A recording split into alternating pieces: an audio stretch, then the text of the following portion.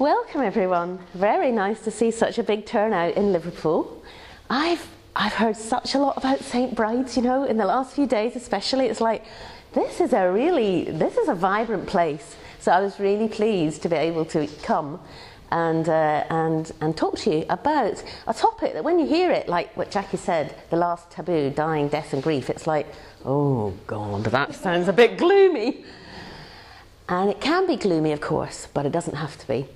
Tonight, I'm going to be uh, sharing my personal story about going through dying, death, and grief um, since my husband died, which was five years ago. I'll be reading a little bit from, um, from the book, and we will split up into a couple of small groups at some point so that you get a chance to actually think and reflect about some of the things that I've been talking about.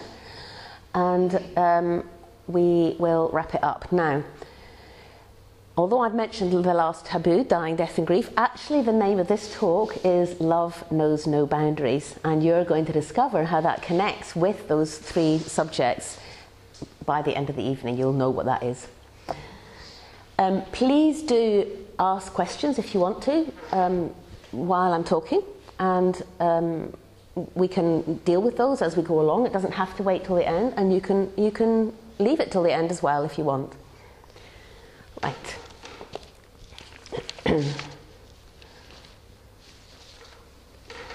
oh, yes. So I'm going straight in with the prologue from my book.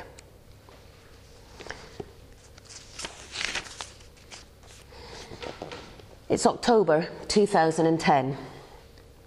Philip didn't soften the blow. It's stomach cancer. What? I felt my body go cold all over and sat down suddenly. I wished I was with him at home instead of on the end of a phone miles away in London. No, really? Yes, the consultant, the consultant told me they found traces of it in the lining of my stomach. Oh God, what happens next then? Immediately, I was into trying to get the problem solved, even though I was so shocked that I didn't really take it all in. This kind of announcement is one of the things that you think only ever happens to other people. But devastatingly, here it was now in our own lives. Later that night, I came through the gate at Inverness Airport and I saw Philip waiting for me. Is it really true? I whispered, nestling into his tall, strong body. It didn't seem possible. I'm afraid so. I can't believe it. Somewhere on that plane trip, I'd been hoping that it was all a dream. Philip told me he knew, really, when he got a letter from the hospital earlier that week saying he should contact them immediately. He'd spoken right away to his daughter Jackie, a nurse. The hospital simply confirmed his worst fear. It confirmed my worst fear as well that he would die and abandon me, leaving me all alone in the world with no husband and no children. So scroll back now to, to summer 1990, 20 years earlier. I know I'm not sure about having children, but I'd at least like to have the choice to have them, I confided to my friend as we sat together on the beach, looking out. Come in, come in, it's fine. looking out over the turquoise Aegean Sea, waves gently rolling in. To do that, though, I want to have a man to have them with, and my track record isn't great in that department. After three months, we always break up, mainly because I'm so terrified. What about if I commit to someone and then they leave me? How would I cope? This fear had clearly been a dominating influence in my relationships. Jane, she murmured sympathetically, it sounds like you need some help. How about getting some counselling? I felt the warm sand underneath the soles of my feet. My gaze shifted to the faraway horizon. In that moment, I began to feel a sense of possibility. That short conversation was the precursor to several months of therapy, during which I pronounced I would commit to the next man I met, who was suitable, to whom I was attractive, attracted and who was attracted to me. Rash, but bold. and it would need to be to counteract the three month breakup pattern and my fears. One autumn morning, sitting in the counsellor's attractive room at her house, I said, I think I'm ready to meet a man now. The thing is, there's no decent ones out there. We had a back and forth conversation about this, and at the end of the session, she surprised me by saying something that would change my life forever. I have a friend staying with me who's going to your office today and could give you a lift there. His name's Pradeep although he calls himself Philip for his work. Pradeep was an unusual name for a white middle class Englishman, but my counsellor had an odd name too Viog. I knew it meant that they were both sannyasins, followers of Eastern spiritual master Osho, then known as Bhagwan Shree Rajneesh. After the end of the session, Viog called Pradeep's name and a friendly head appeared at the door. Within a few minutes, I was sitting next to him in his car. I was captivated by the air of still presence surrounding this man. I simply wanted to be near him and soak up some of that stillness for myself. Taken aback by this desire, though, and to cover my nervousness, I chattered the whole of the half hour drive to the office. There, we continued to talk until I protested I really have to get on with some work now. You must go. And I shepherded Pradeep to the door. Will you have lunch with me today? he asked. No, no, I've already taken my lunch break by having my therapy session. I felt disappointed but touched by the invitation. Bidding him goodbye at the door, I went to shake his hand. He reached out and hugged me. I felt a bit taken aback. That's a bit forward, I thought. Is this what all sannyasins are like? Still, the hug was lovely, warm and affectionate, and I felt sad saying goodbye. And I spent the next couple of hours focusing on work as best I could. Later that afternoon, he rang to invite me to dinner on the following Monday, when he would next be in London. Yes! burst out of me, and I scampered down the office corridor shouting, I've got a date! I've got a date! The three month relationship test came. I knew from previous experience that this would be a watershed moment. Despite a week of shouting, arguments, and stomping off on both our parts, I held to my resolve. Sure enough, the pattern was broken, and after that week, we had made a commitment to each other. I rang my mum in France. I think I've met the man I want to marry, I announced with excitement. Isn't that a bit soon? She sounded worried. It's all right, Mum, it'll all be fine. I waved away her fears cheerily.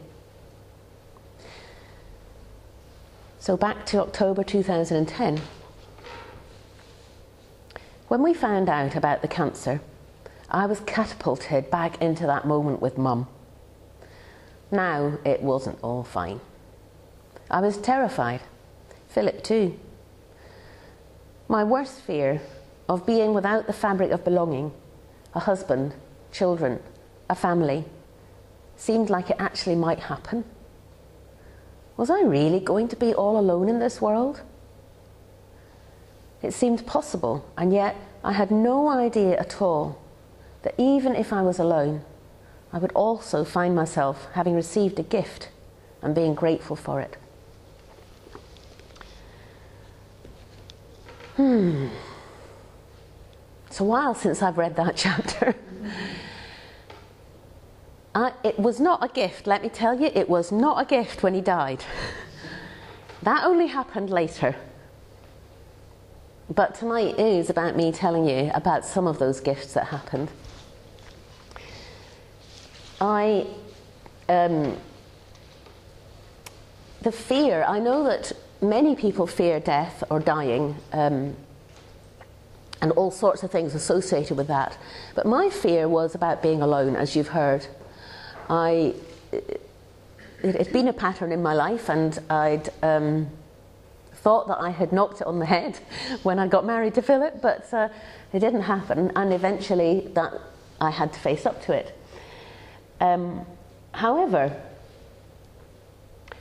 when I was researching for this talk, I um, came across a really wise quote by Plato, who said, For to fear death, my friends, is only to think ourselves wise without really being wise. For it is to think that we know what we do not know. For no one knows whether death may not be the greatest good that can happen to man.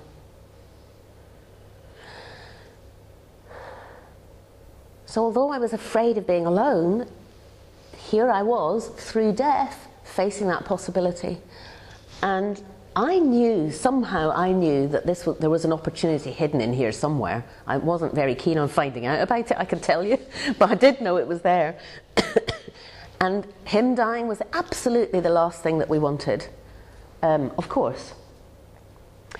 But you know, when you get a diagnosis like that, you just get on with it, as some of you here might know you, life carries on. In fact, life carries on right up until the moment that person is no longer here.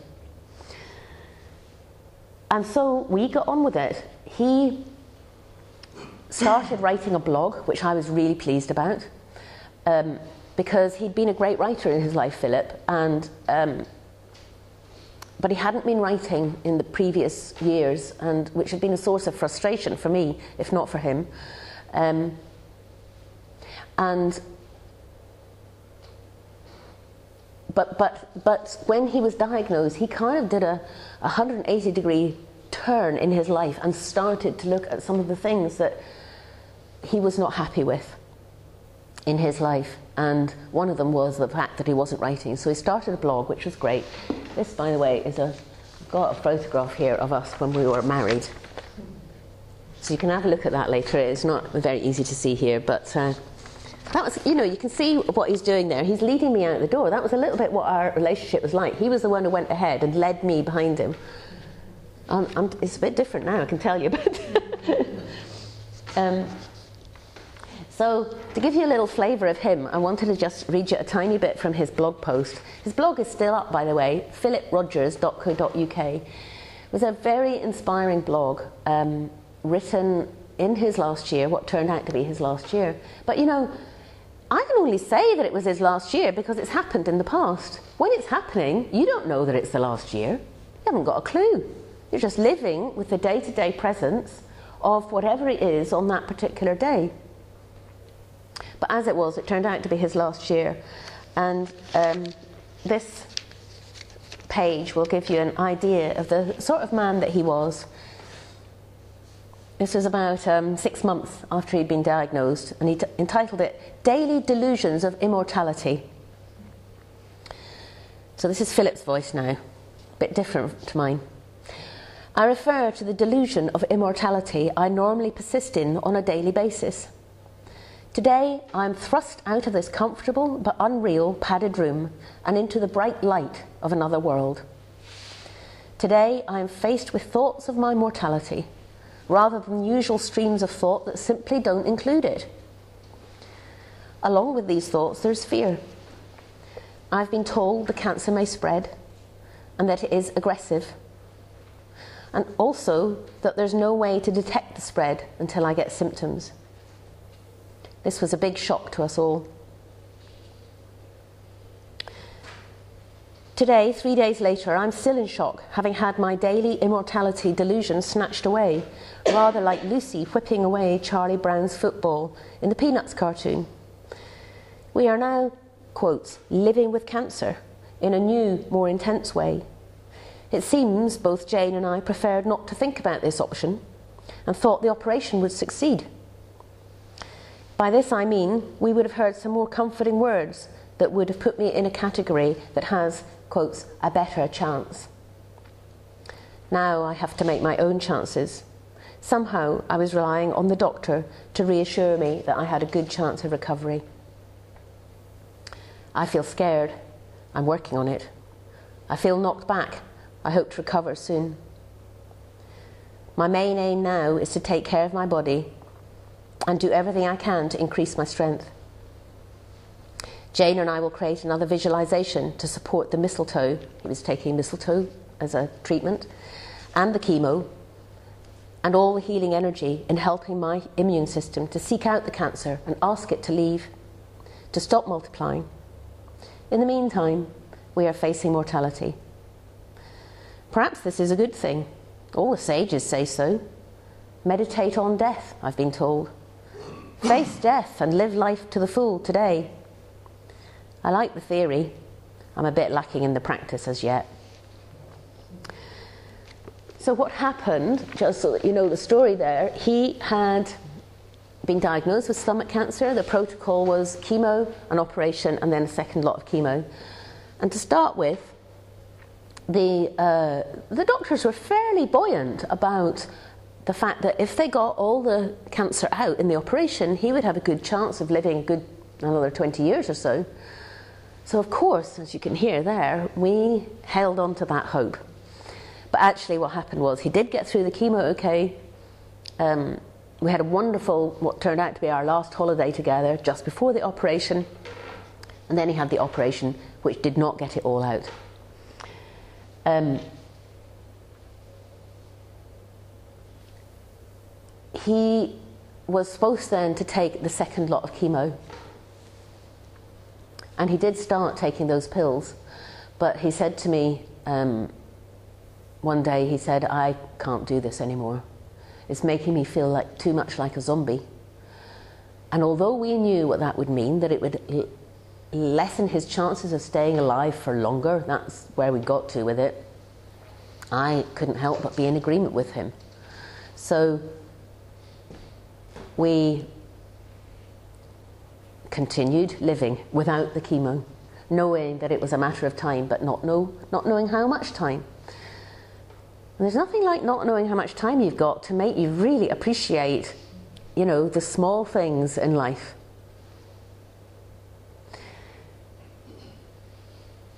So, one of the things, um, let me see where I am at.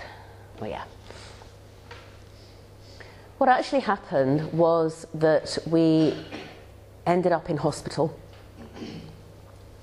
he ended up in hospital. I ended up being there, obviously, as well. We live in the north of Scotland, so um, the hospital was in Aberdeen, that's two hours away from where I live. And in that six weeks that he spent there, we discovered something beautiful about love. We discovered that we couldn't any longer say, I love you to each other, because it didn't sound quite right. It sounded like, when you say I love you, it's I love you over there. And, and, and, it's wonderful, of course, we know that phrase really well. But at that moment in our lives, that phrase felt like we were separating from each other. It felt like there was an I here, and then there was a you there, and it didn't feel like that to us. To, to us, it felt like we were together in the presence of love. And that's, that was a really beautiful memory that I have, that conversation actually, it was less than a conversation, it was an acknowledgement, I think, really. Here we are, love is visiting. Actually, I think love is visiting all the time, we just get in the way of it. but at that time, that's how we, we described it. So we were in hospital, and uh, it was obvious that he was coming towards the end, and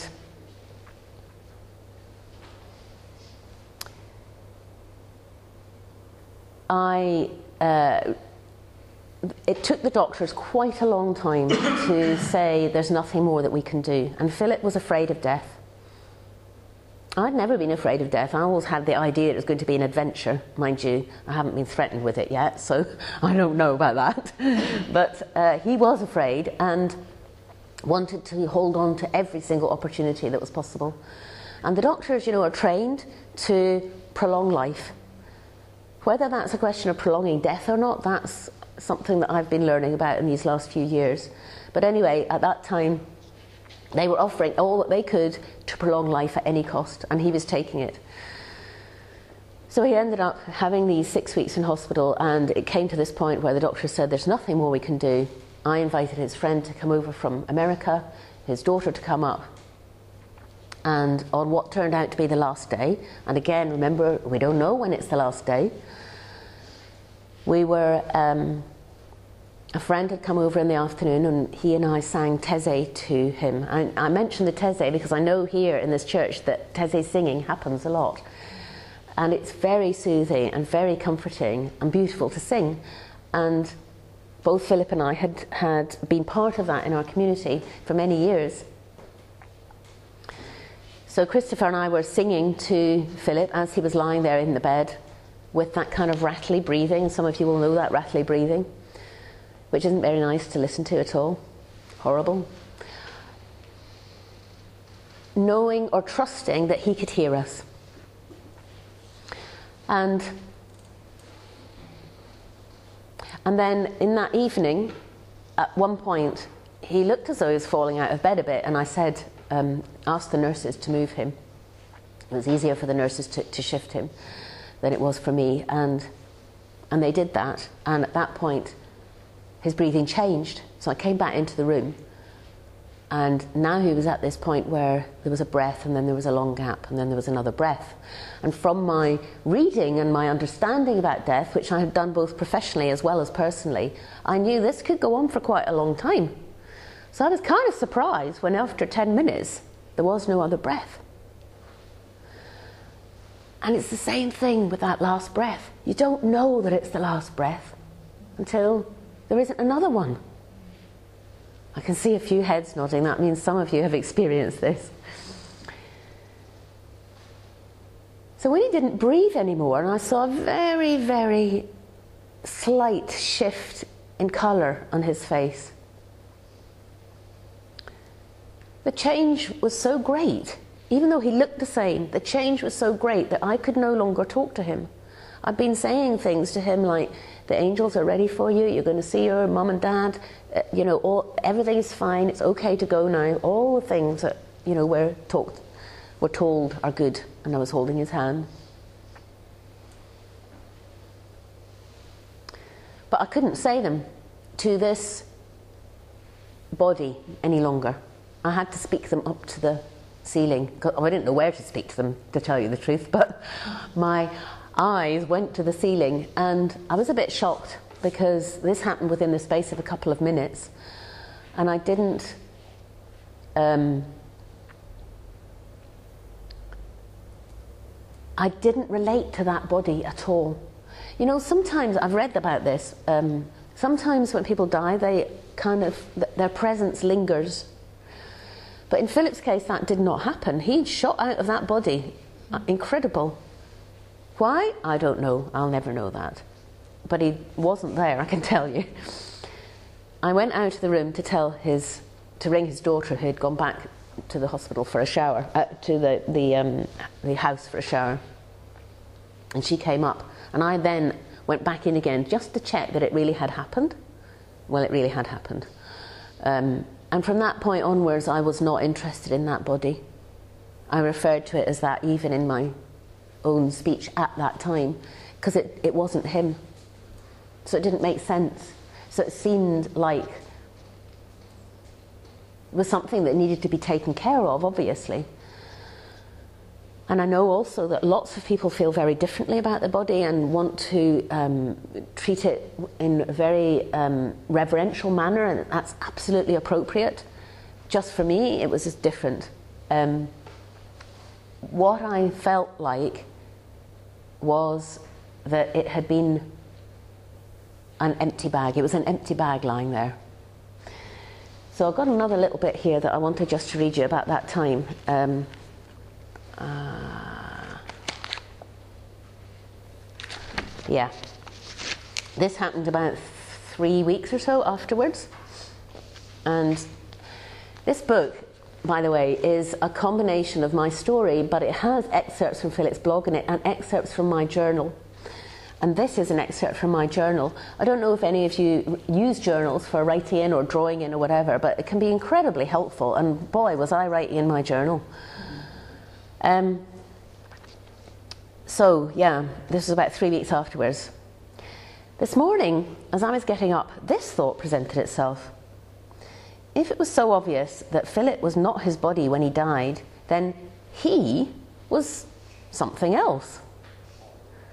Not sure that something else is a thing. Well, it isn't a thing. What is it? It's not an it either. How do you describe it in words? I don't know. Anyway, who he was has left behind the body as an empty bag.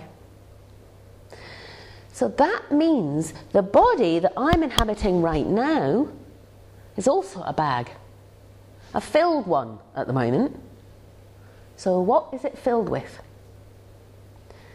And if I am not my body, quite clearly, as I saw with Philip's death, then what am I? Or who? What is it that is filling this bag as I'm writing this?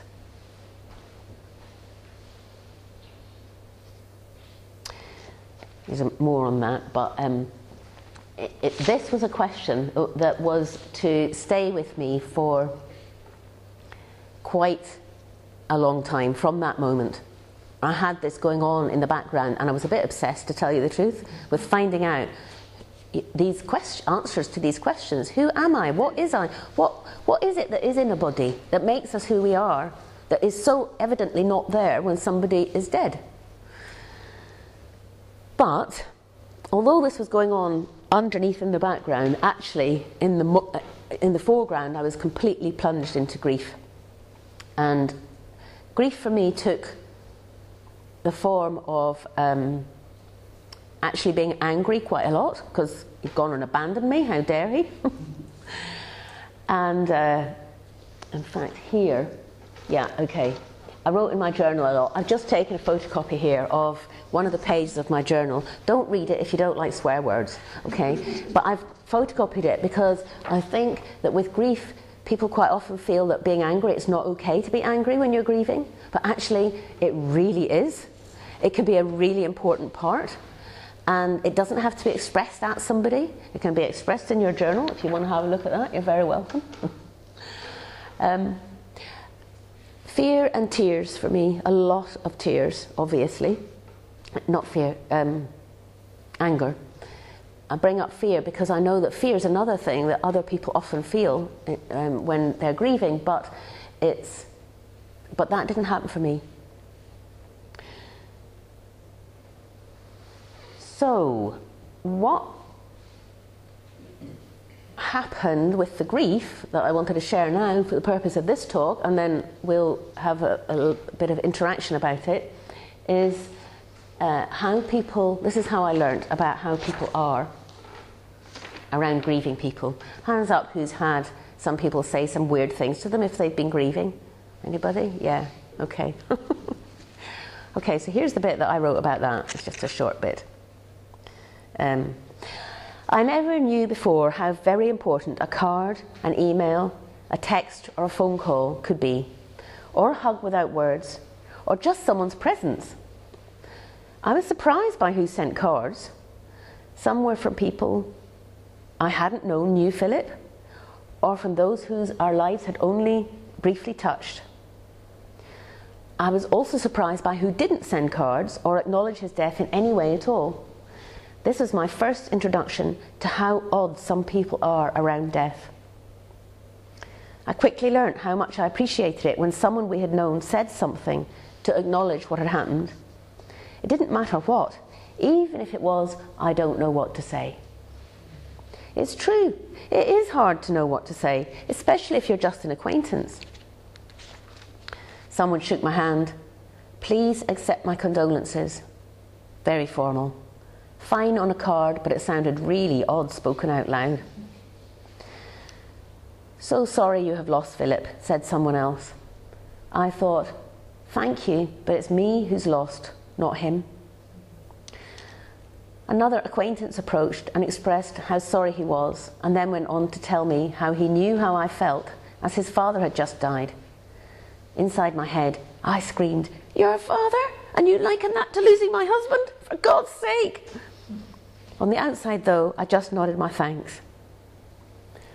And then someone else announced, You're very accident prone, you know. What? What have I done? I was shocked. Had I caused an accident somehow and not even realised it?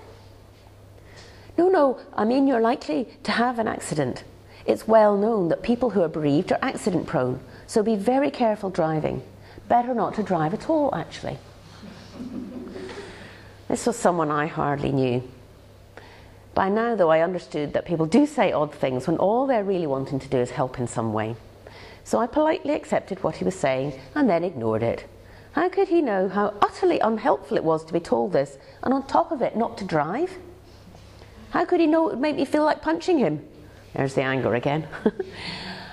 I listened politely to him expound his views while all the time paying no attention in my head. It was almost laughable. Almost laughable. laughable now. So, what I would really like you to do now is just gather together in maybe groups of three or so, yeah, three or four, just where you're sitting, and see if you can come up together with some of the things that are things not to say to somebody who's grieving, or some of the things that would be appropriate to say. And then we'll see what we hear from people. Is that okay? Mm-hmm. Yeah? Right. Okay. So, yeah, you can just do it maybe in, in your round, or if it's only two people, that's fine. That's great. You might want to introduce yourselves first. And just before you start, let me say, please make sure that everybody gets a chance to say something in your group, okay? Yeah, four there. I'll come round and make sure it's happening. Okay? Things that you know that are a great thing to say to somebody who's grieving, or things that are definitely not a good thing. Okay, off you go. Secretly, I think that people really want to talk about this subject. Underneath, most people want to ask these big questions about dying and death, which is actually about life. They want to talk about things like how do we deal with grief in our society? What actually happens when somebody dies? What do you do with a body? All that kind of stuff. And tonight, you know, we're only looking at um, a, a couple of specific things about my journey, but it's a huge topic. Yesterday, I did this day exploring dying, death, and grief, and honestly, we could probably spend a week on each of those areas, and we might still not have had enough time. So let's just acknowledge that, that you've just started here to touch into an area that is really, really important that we as a society, but that means you and me as individuals become much more comfortable with grieving, with dying, with death, with loss of all kinds. Because although I'm talking about bereavement tonight, loss and grief applies to all sorts of different situations, all sorts. And just when I think of it, if any of you have got pets, or know somebody's got a pet, sometimes somebody's relationship with their pet is more important to them than somebody's relationship with a person. So it's really important that we don't minimize the effects of when a pet dies. Like saying, this is something somebody said yesterday, like saying something like, you can always get another one. It's not helpful. okay, Anybody want to share anything from any of the, the, the groups uh, about something that came up that struck them as either, well, anything that comes up actually, but maybe something that was um, a good thing or not such a good thing to say? Anybody brave enough? Yeah? We, um, something that this took out um, in my mind from what we were talking about was we were talking about um, different countries and different cultures and things and how they grieve differently to what's traditionally sort of yeah. was, if you like. And I think that there's something um, that we should take from, yeah. well, maybe just me personally should take from that because I think when you do see mm. talk about people on telly when there's kind of like the women are wailing in the streets and things yeah. like that, I think that must be, it's almost empowering really. And yeah. I think that we, don't do enough of that. Mm. And I think that's something that maybe we can take Yeah, because, you know, I'm a white middle class person. You know, I'm talking about white middle class people here because that's my experience.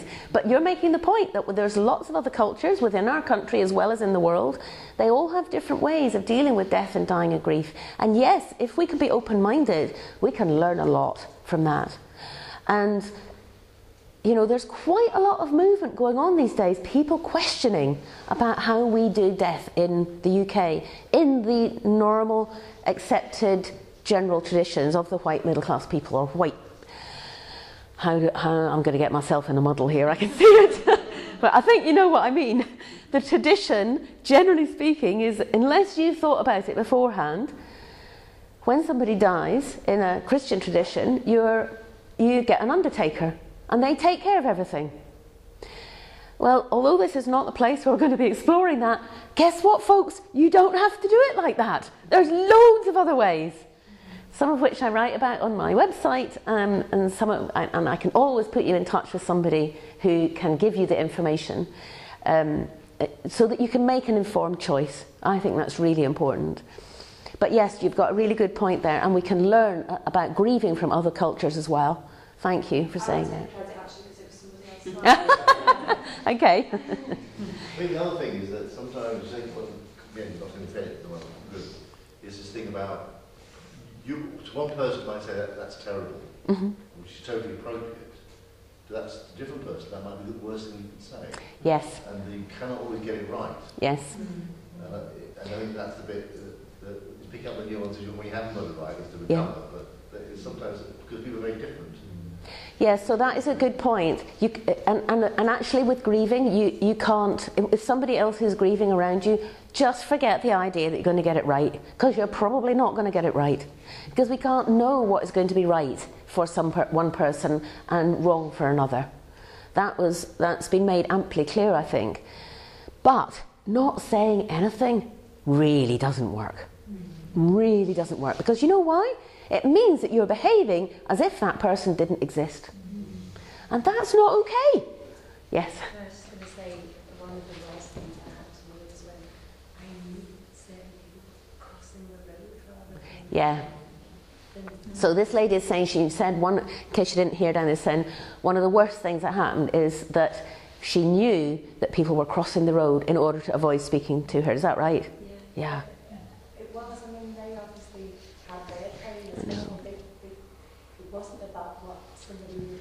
Yeah. It's just even an acknowledgement. Yeah. A look, a gaze, a, exactly. You know, a hand on the shoulder. Hand on the shoulder, yeah. Sometimes there aren't any words and, and perhaps, mm. you know, Yeah. Really important and actually... Yeah. Uh, exactly. It's so... Um, it's just crucial that it is acknowledged in whatever way. And that is not an easy thing to do. It's not easy for me, and I've been on the receiving end of it, and you and some other people in this room. But if we can acknowledge that it's not an easy thing to do, and we're still going to have to make ourselves do it sometimes, and we're still going to put our foot in it maybe and get it wrong. Like this summer, I went to the funeral of a friend of mine who had, I had been with her as she was dying, and at the funeral, I went up to one of the family members that I didn't know, and I said, how are you? You know, that's the sort of thing you do when you meet people. You say, How are you? As soon as it was out of my mouth, I'm like, Oh my God, I'm sorry, I should never have said that. It's obvious how she was, you know. And here am I. There's a part of me that thinks I ought to know better. Got it wrong. But at least I did say something, you know. Um, it, you know, you're going to make mistakes. You just accept that and do it anyway. okay, let me move on because. Um, I want to go back to this, this, this passion that I had for discovering who it is, what it is that is in the body. And you'll probably have heard the saying, we are not human beings having a spiritual experience, we are spiritual beings having a human experience. Who's, who, hands up who's heard that? Yeah, lots of people. Okay. And that's I knew that. I'd heard it before and I knew it in theory. And I thought I knew it experientially as well. And then I heard, uh, has anybody here heard of Robert Holden, the author Robert Holden? Yeah? He's a, he's a, um, a well known Hay House author. And he wrote, We are not a body that has a soul, but rather a soul that is dressed in a body. And this made a bit more sense. You know, I'm getting a bit clearer. Okay, what it is that was in Philip and it is in here and is in there and there and there and there, it's a soul with a, a body like an overcoat. That's all it is. However, we persist, and it's natural because this is what we do as human beings, to either pretend consciously, nor not so often that, but to, to play the game that we, who we are uh, is the human being, who we are is the body. It's quite difficult not to do that because it looks like we are a body, doesn't it? I mean, it looks like here we are sitting here with a body, and this is who we are. And on one level, that's true. But let, let me introduce this idea this way. I'm sure that you will all know um, when I say, you know the voice, capital the, capital T, the, capital V, voice, the voice in your head that says, What's that voice she's talking about? That's the voice. or the voice that says, oh, I'm really cold, I wish I'd brought my coat, or I definitely shouldn't have another chocolate biscuit tonight, or um, you, um, you shouldn't have done that, or you should have done this. It's that voice. Do you know that voice? Yeah, I'm sure you do.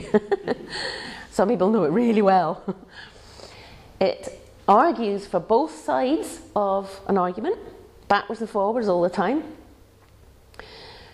And it belongs to the body, to the mind. Yeah? But it's not who you are. Who you are is, if we think about it, is the soul dressed in the body. Who you are is that soul. Who, who you are is behind that voice, beneath that voice, underneath, let's say. And this is one of the huge gifts that I discovered after my husband died because I really went on uh, uh, uh, I was obsessed. I went to discover and to read and to courses and to um, question all sorts of things about what is going on. What is this thing called life that apparently dies? And one of the things that I discovered, and I'm still discovering, by the way, I haven't, there isn't an end point to get to, is that this, um, this body here, who's right now occupying this role as a speaker, and you lot are occupying roles as, as an audience, as, as a listener. And yet we've all got other roles to play, like mother, father, son, daughter, friend, companion, carer, whatever it is. We all play those roles in our lives all the time, and it's normal. And underneath all the time is something else. And that something else doesn't have feelings, it doesn't have thoughts. It's still and it's silent. And we might call it peace or love or God or divine being or universe or energy. Loads of people have all sorts of different words for this, depending on their religions, depending on their beliefs, doesn't matter. But this is who we really are. And that place is available all the time. But we forget. We walk around in our lives paying attention to the voice. The voice that says, "I'd better hurry up, I'm going to miss the bus. Oh no, I've forgotten to bring such and such to work. What's that appointment I've got to do? And goes on and on and on. And has all sorts of really interesting discussions with all sorts of people. And there's nothing wrong with any of it. It's all very entertaining, in fact, quite often. And at the same time, there's still this place of peace underneath. So, one of the ways that I um, tapped into this at a much deeper level than I ever had done was through meditation, through being silent. Um, if you haven't read Eckhart Tolle's The Power of Now, then I recommend that. Another really good book where he talks very amusingly about the voice is uh, a book called An Untethered Soul, The Untethered Soul by um, Michael Singer. So if you're attracted to any of those things, have a look for those books. Um,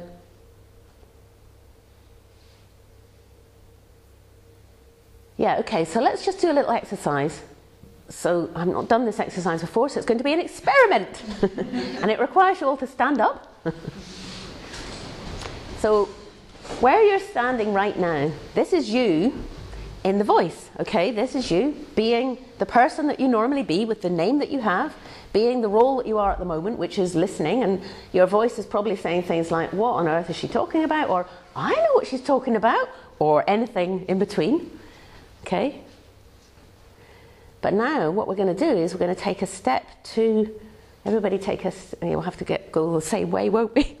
take a step to the to your right.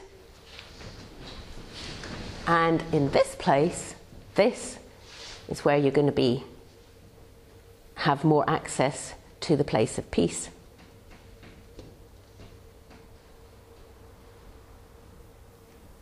That's all it is. So let's go back again. So, this is a place of the chattering voice the one that is our personality, the one that we know really well or not that well, the one that has all sorts of opinions and, and gets us into trouble or gets us out of trouble. There is no good or bad about it, but it has opinions. and this place, just move back to where you were. This is the place that doesn't have opinions.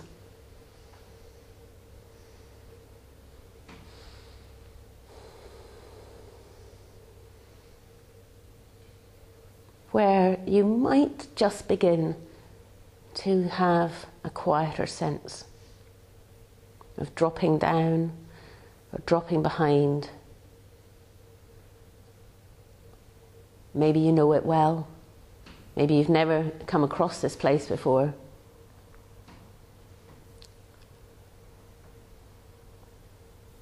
But it's there all the time. Okay, you can sit down now.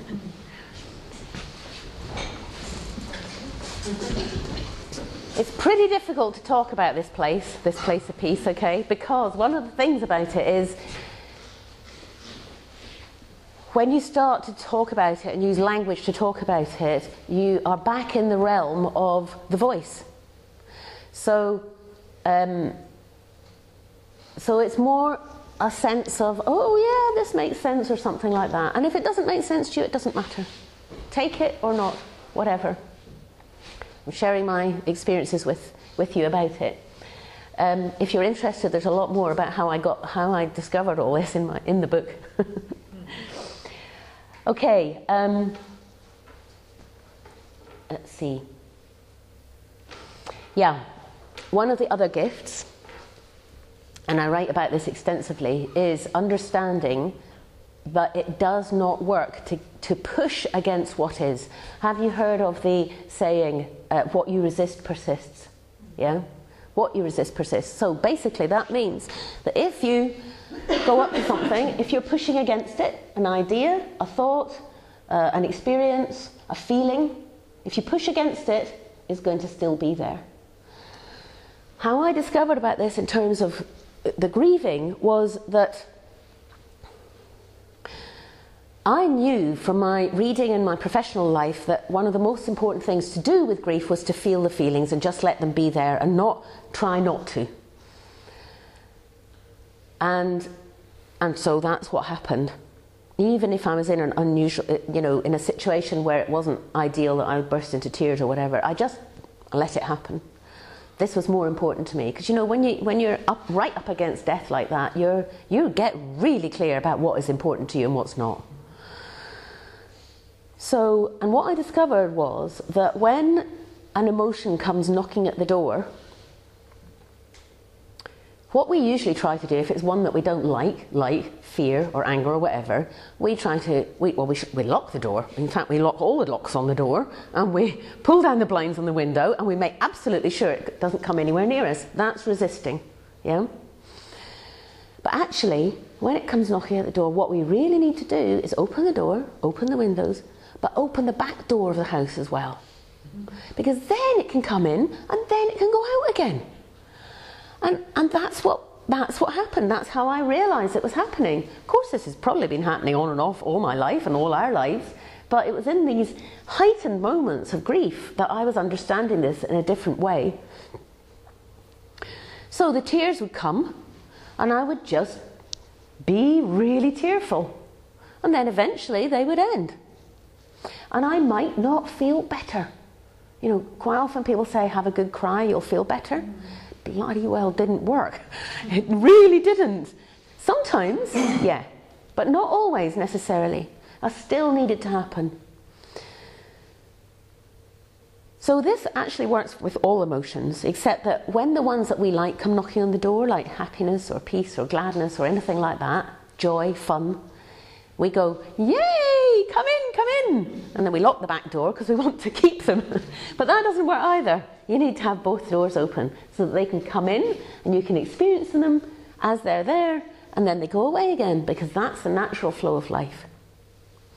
So I, I, I offer you that analogy because it, it, really worked for me, that analogy, and um, hopefully it will work for you too. So the next time you feel a strong emotion of any kind knocking on your door, just see if you can play with that and how it might be different for you. Okay, um, one of the other gifts was the list of questions that I asked Philip before he died. Now, I wrote about this in chapter 10, I think it is, of Gifted by Grief. We had been sent an email by uh, my old friend from America who came over and was with him when he died. And she had said, You must make sure he answers these questions before he dies. And they were really practical things like um, what's his password? Uh, how does the car work? Um, um, what, how does the television work? Uh, what sort of thing does he want his body to be wrapped in? You know, some quite difficult questions. And uh, it took about four emails from her before I plucked up the courage to ask him. And one Saturday morning, I grabbed him and we sat down in bed and with the laptop. And I went through the questions and I asked him, and he gave me his answers and I wrote them down. Now, I was incredibly grateful for those answers after he died. There were some specifics that were immediately very helpful, like um, what kind of coffin he wanted. Um, I knew that he wanted a cremation, where he wanted that, that sort of thing. So I didn't have to think. Because one of the things that happens with grief when it hits you, major grief, is you can't think straight. And it's really difficult to make decisions often. So all I had to do was go to this list. And um, actually, we discovered that there were quite a few questions. I discovered that there were quite a few questions that we hadn't answered, that we, I hadn't asked him. But the ones that I had asked him were really helpful. Like one of them that I, I particularly remember because it was such a nice thing for me to be able to do was he'd told me, or I'd asked him, and then he gave me the answers of which of his possessions not valuable things, but just precious things, you know, did he want to give to anybody in particular? So there was a list of about eight or nine of things. And it gave me such a lot of pleasure to be able to give those to these people, saying, Philip wanted you to have these. It really made a difference. So, what happened when Gifted by Grief was published was that this was the chapter that people responded to. They all said, or at least several people, enough people for me to start going, oh, you mean people really want this? they said, this is a really good idea, I want to be able to do that. And that is what led to this workbook here, Before I Go, Practical Questions to Ask and Answer Before You Die. And actually that's a lot of my work now, is facilitating people, people in the public, people in organisations, people um, working with professionals as well to consider what are these questions for themselves well before you're going to be popping your clogs. And that is what I did. I, this, and this only happened this time last year. so this has been a bit of a whirlwind journey this last year. Um, but it has been a gift, and not just a gift for me. There's already been 80 families this year that have benefited from people, some one person in those families, maybe more, um, completing this, considering things like what they want in their living will, which is big questions. How do you want your end of life to be?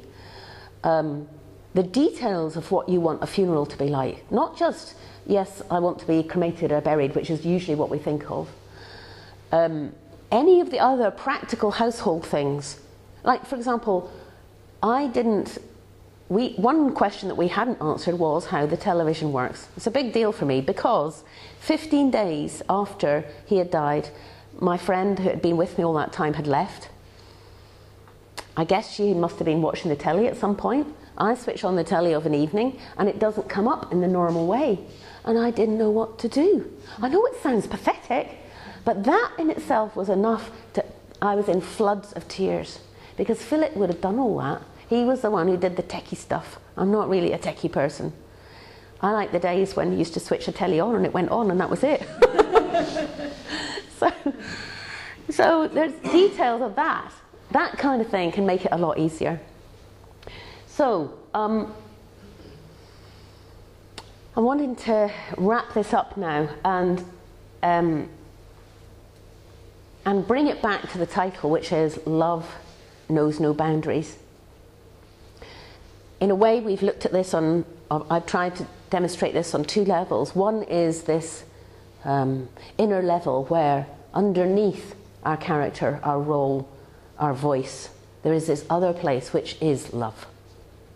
That is love. It comes through the character, it comes through the personality, it gets expressed. But that's essentially who we are and what we're talking about. And it definitely doesn't have any boundaries.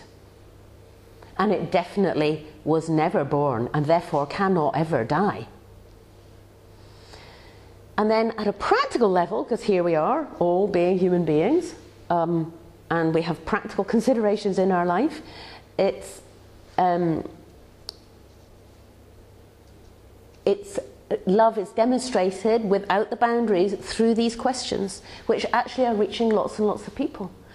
And in a way, Philip, who was a great, um, he had been a psychotherapist for many, many years. His whole work was about helping people to grow and change and enjoy their lives better.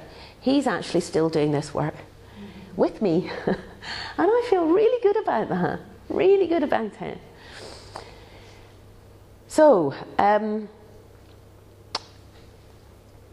what I'd like to just ask you to do from a practical point of view, because I'm a really practical person as well as all the rest of it, is to ask you just to reflect for a moment on one thing that you can take away from tonight's talk that might have um, impacted you enough to take an action to do with dying, death, or grief. It doesn't have to be a big thing. I'm looking for a tiny, weeny thing, like maybe write in your journal, or maybe um, say to someone, I went to this talk last night, and whatever it is. Um, or um, just reflect on actually one of the things that you might want to have happen at the end of your life. And just share that with somebody right now. Yeah? Can just be the person next to you. You don't have to go back into the groups. And then we'll take questions, okay? Happy to do that? Okay. Off you go.